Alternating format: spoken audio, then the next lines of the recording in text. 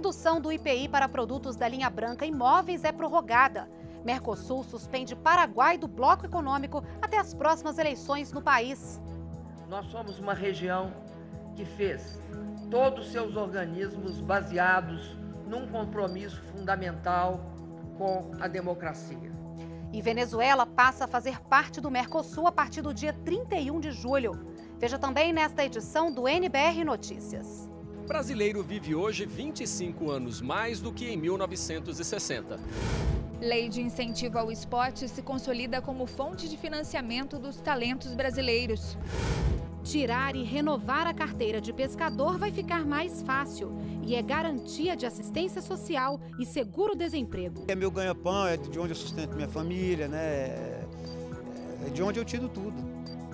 O NBR Notícias começa agora.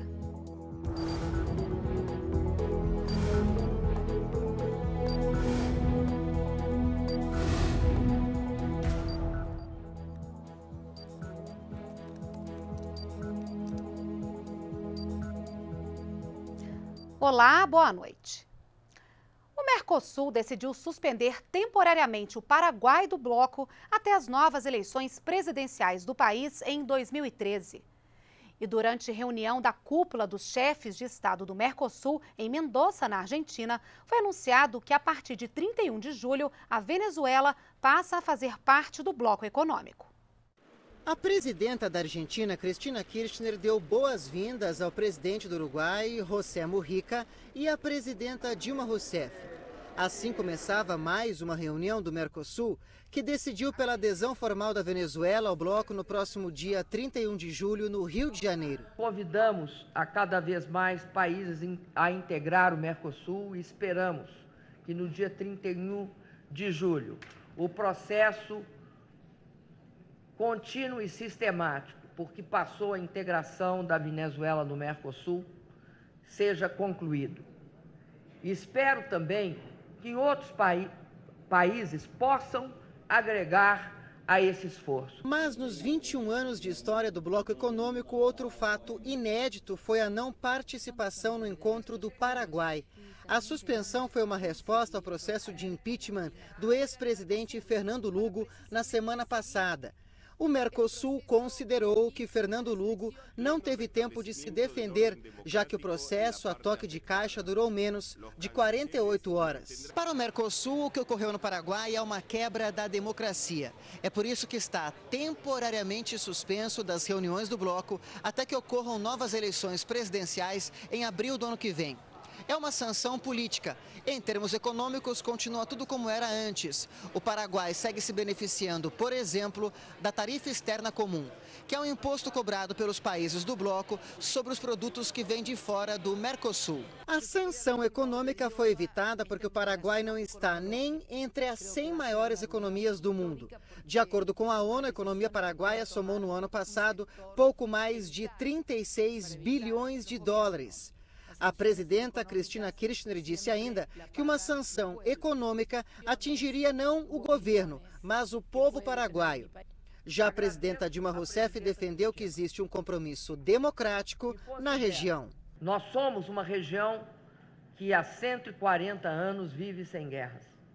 Nós somos uma região pacífica, uma região sem conflitos étnicos e sem perseguições religiosas. Nós somos uma região que fez todos os seus organismos baseados num compromisso fundamental com a democracia.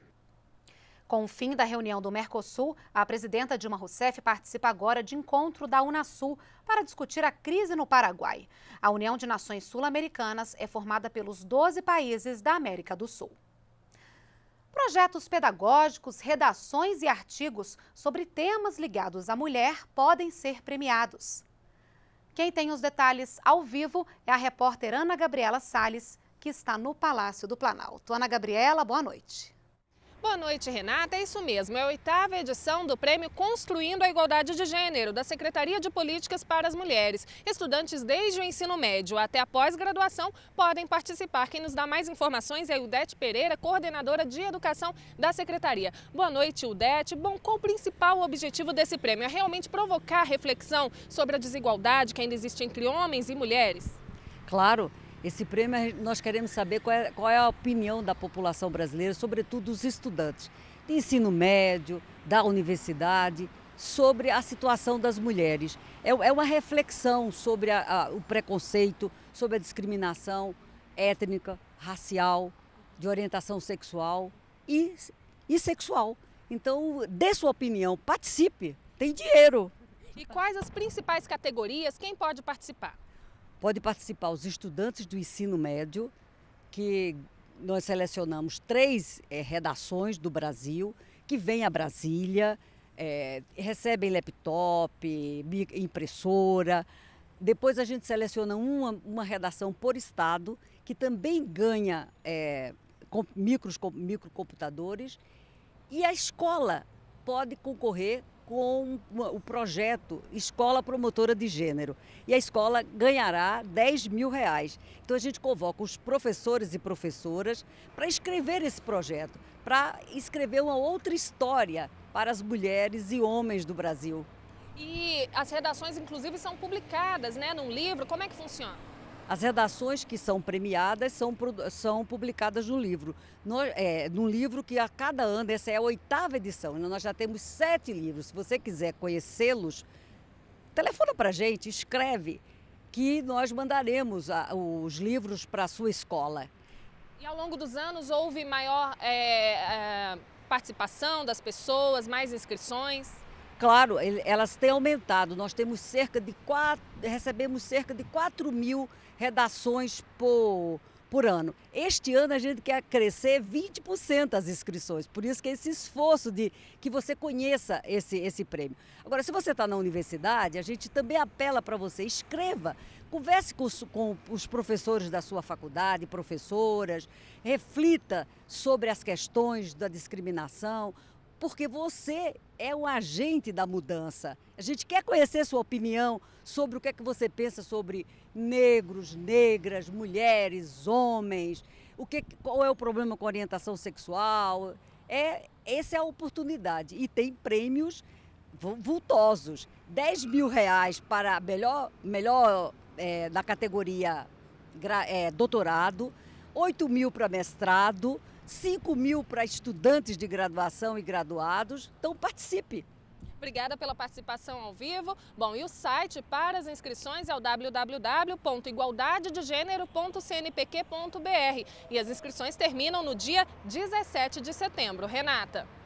Obrigada pelas informações, Ana. A redução do IPI, o imposto sobre produtos industrializados para a linha branca, como geladeira, fogão e máquina de lavar, vai ser prorrogada por mais dois meses. A medida só vale para produtos com selo A de eficiência energética do Inmetro. Também foi prorrogada por mais três meses a redução do IPI para móveis, laminados e luminárias. A redução do imposto entrou em vigor em 1 de dezembro de 2011 e terminaria neste sábado. Número de católicos caiu mais de 20% nos últimos 20 anos, de acordo com o censo 2010 divulgado hoje pelo IBGE. Os católicos ainda são maioria, 64%. A pesquisa também revela aumento da população evangélica, que agora é representada por 22% dos brasileiros. As mulheres estão tendo menos filhos e a expectativa de vida do brasileiro subiu 25 anos, de 1960 a 2010. Os dados são do IBGE. Dona Maria teve 11 filhos. A aposentada conta que antes as coisas eram diferentes e que hoje ela não teria tantos filhos. De hoje não tinha, não. Por quê? Né? Maria é difícil, muito difícil. Muito difícil ser uma família grande, sofre demais. Edilene, filha de Dona Maria, está esperando o primeiro filho. Hoje em dia todo mundo tem que trabalhar, tem que deixar em creche, tem que deixar alguém cuidando, e é difícil essas coisas, né? Não pode ficar tendo filho demais. Dona Maria e Edilene são duas gerações de uma mesma família que reproduzem uma estatística divulgada nesta sexta-feira pelo IBGE com base no censo de 2010. Em 1960, cada mulher tinha em média seis filhos. Hoje, elas não passam dos dois. O estudo também mostrou que o brasileiro está vivendo mais. Em 1960, a expectativa de vida era de 48 anos. Hoje é de cerca de 73 anos e meio. Seu Nicolau tem 84 anos e diz que o segredo é cuidar do corpo. É se preservar, não beber, não fumar, dormir todas as noites direitinho, sem passar, perder tempo nas ruas, né? nas boemias, né? nas boates, tudo isso ataca a saúde da pessoa. Né? Eu faço alongamento, eu faço fisioterapia respiratória moderna, jogo os pés para cima, entendeu? Eu faço musculação, né? musculação e exercício de assoprar, respirar, aspirar e respirar. A queda no número de nascimentos e a vida mais longa dos brasileiros estão mudando o perfil da população do país. A proporção de jovens está diminuindo e a de idosos aumentando. O Brasil segue assim uma tendência que, de acordo com o IBGE, é uma característica de países mais desenvolvidos. E o último censo do IBGE revela também que quase 46 milhões de pessoas no Brasil têm algum tipo de deficiência, o que representa 24% da população. Gislaine perdeu a visão aos 12 anos de idade por causa de um descolamento de retina. Hoje ela se prepara para concurso público e para entrar na universidade, mas conta as dificuldades que enfrentou na escola. Na área de matemática, de exatas, né? Aí eu já fiquei até sem ver o conteúdo praticamente. Né? Porque o professor não, não explicava. É, ele explicava mais para quem enxergava e para quem não, quem eu que estava lá, né, que não enxergava, não, não tinha como pegar a matéria, que era mais visual. O último censo do IBGE de 2010 revela que 61% da população de 15 anos de idade ou mais com algum tipo de deficiência não tinham instrução ou não chegaram a completar o ensino fundamental. O estudo mostra também que 95% das crianças com deficiência de 6 a 14 anos estão na escola. Para a psicóloga Helena, que tem deficiência visual, o maior desafio ainda é o preparo dos profissionais de educação para garantir a permanência dos alunos nos estudos. O projeto existe, mas os professores, os profissionais ainda são pouco habilitados para tratar com a diversidade de cada deficiência. Dados do censo escolar do INEP mostram que em 2011 o número de matrículas de pessoas com deficiência em escolas regulares aumentou 15% em relação a 2010, com mais de 550 mil matrículas. A meta do governo federal é melhorar a acessibilidade e adaptar escolas em todo o país até 2014. O acesso à educação é um dos eixos do plano Viver Sem Limite, lançado em 2011. No que diz respeito à educação básica, nós temos as salas de recurso multifuncional, que são os equipamentos que vão e, e acessos e apoios dentro da tecnologia assistiva para garantir esse, essa permanência da pessoa com deficiência. Nós temos também a questão da qualificação, que são cursos, por exemplo, através do Pronatec, é o curso Bolsa, Bolsa Formação Estudante e o Bolsa Formação Trabalhador. Então, são duas modalidades que a pessoa tem acesso a essas qualificações. E aí, assim, elas podem ir para o mercado de trabalho. Para mais informações sobre a pesquisa, basta acessar o site do IBGE. Equipes esportivas e paraesportivas têm até 15 de setembro para apresentar projetos e receber apoio da Lei de Incentivo ao Esporte. Entre os beneficiados está o basquete em cadeira de rodas. João Paulo tem 22 anos e joga basquete profissionalmente desde 2010. Neste período, já foi convocado para a seleção brasileira sub-23 de basquete em cadeira de rodas. João Paulo faz parte do time do ICEP Brasil, equipe criada em 2007 e que desde seu início recebe patrocínio por meio da Lei de Incentivo ao Esporte. Para o jogador, quem investe em projetos esportivos acredita no talento dos brasileiros. O Brasil está dando hoje condições para a gente galgar degraus que eu nem sequer imaginava, chegar a uma seleção brasileira. Qualquer empresa que é tributada com base no lucro real pode destinar 1% do imposto de renda para um projeto esportivo. Em troca, ela tem o um nome vinculado à equipe ou atleta no caso de modalidades individuais. Para este ano, as despesas do ICEP estão orçadas em 700 mil reais, entre pagamento de salário dos atletas e melhorias nas condições de trabalho. A ajuda da lei é muito bem-vinda. O atleta senta numa cadeira melhor, com aparelhagens melhores, tanto de, para o desempenho dele, como é, um material de melhor qualidade que possibilita que ele desenvolva o seu próprio potencial. As melhores condições de trabalho refletem no ânimo do time. O objetivo do ICEP Brasil para este ano é ganhar a segunda divisão do Campeonato Brasileiro de Basquete em cadeiras de rodas e no ano que vem ficar entre as três primeiras equipes da elite nacional. Isso é uma, uma, um objetivo importante, pontual e que vai ser possível né, a partir do apoio desses patrocinadores. Sem esse apoio, com certeza, nós não teríamos a estrutura que temos hoje e com certeza não alcançaríamos o objetivo que nós estamos trilhando para poder alcançar. Podem participar pessoas jurídicas com mais de um ano de funcionamento, sem fins lucrativos e que têm em seu estatuto natureza esportiva ou vínculo com o esporte. Neste ano, o prazo para inscrição vai até 15 de setembro. É importante que todos usem a lei, que as empresas participem. Quer dizer, a lei de incentivo ao esporte, ela se consolidou como uma nova e efetiva fonte de financiamento do esporte nacional. De 2007 até 2011, foram mais de 650 milhões de reais que as empresas somadas, mais de 2 mil empresas somadas, aportaram 650 milhões de reais em projetos esportivos por todo o Brasil. As propostas para reduzir a emissão de gás carbônico estão na internet para uma consulta pública. A ideia é desenvolver planos setoriais e promover uma economia de baixo carbono. O repórter Adilson Mastelari explica, explica para a gente como participar. Adilson Mastelari, boa noite.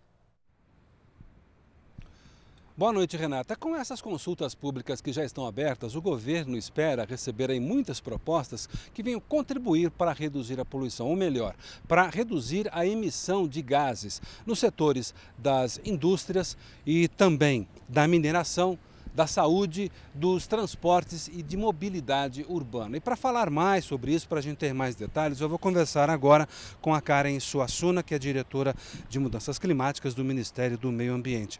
Essas consultas elas vão ser feitas pela internet? Isso mesmo, as consultas vão, os planos estão disponíveis para consulta pública na página do Ministério do Meio Ambiente e nas páginas dos ministérios que coordenam os planos é, até o dia 15 de agosto.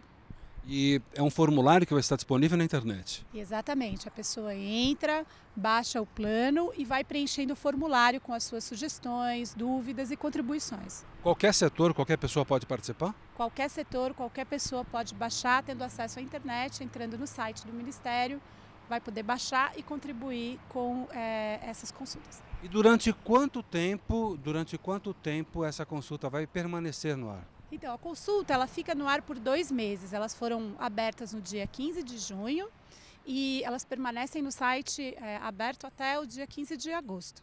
Bom, levando-se em consideração que são dois meses de consulta aí na internet, o governo deve receber muitas propostas. Isso, elas vão passar por uma análise?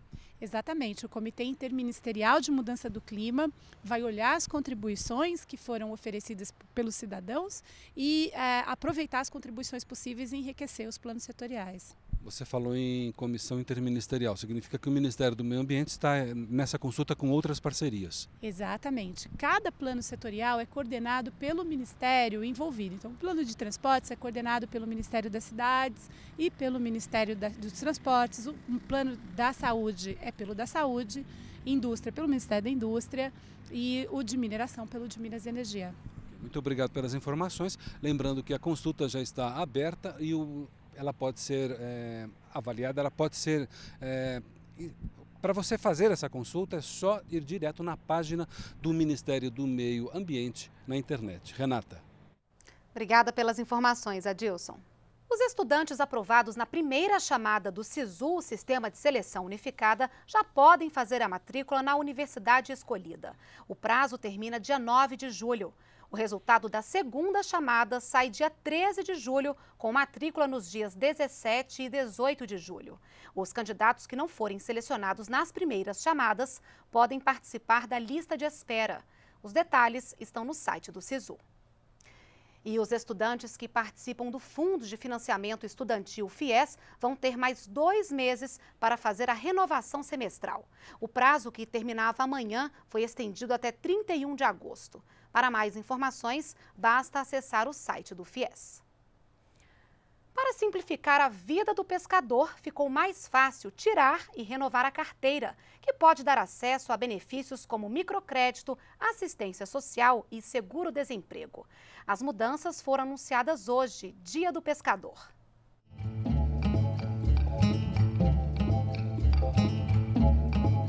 Logo cedo, o pescador José Heron, de 47 anos, chega no Lago Paranoá, em Brasília, para pescar.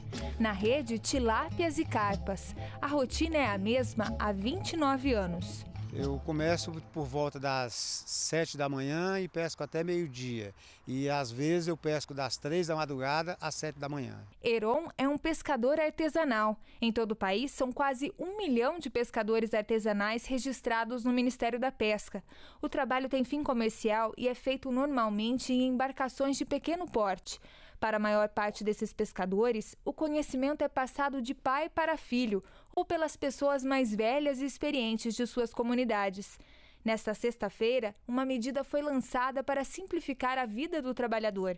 A carteira de pescador, que exigia a apresentação de nove documentos e que necessitava de renovação de dois em dois anos, agora é definitiva.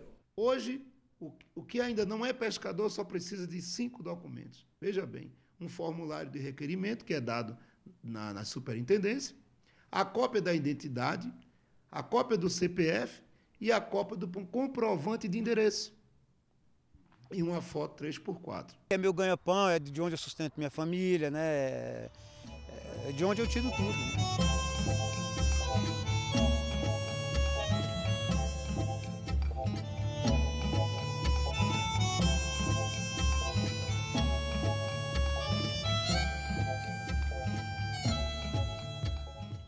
Todos os anos são produzidas no Brasil 1 milhão 240 mil toneladas de pescado. E 45% dessa produção passa pelas mãos dos pescadores artesanais. Esta edição do NBR Notícias fica por aqui. Para você, uma boa noite e um ótimo fim de semana. A gente encerra o jornal de hoje com imagens em homenagem ao Dia do Pescador. Continue com a gente na NBR, a TV do Governo Federal.